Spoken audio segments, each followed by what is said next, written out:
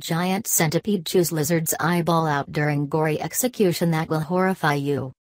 The traumatic clip shows the monster insect scuttling rounds its enclosure looking for its prey before pouncing on the stricken lizard trapped inside. Without a moment's hesitation the predatory beast sinks its giant pincers into the lizard's head before beginning to devour it alive from the top down. The poor lizard is outmuscled and overpowered by the huge body of the centipede as it wriggles desperately to escape. But its efforts are in vain as it soon dies from the sickening trauma, leaving the monster critter to feast on its corpse. More than 1.5 million people have seen the graphic footage since it was uploaded to YouTube, leaving viewers in despair. This is what nightmares are made of, wrote one viewer. Another said, All I have to say is, I'm glad we're at the top of the food chain.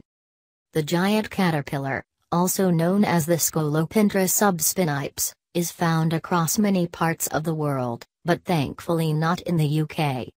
They can grow up to 20 centimeters in length and sometimes feast upon small mice and reptiles alongside other insects that cross their path. Path.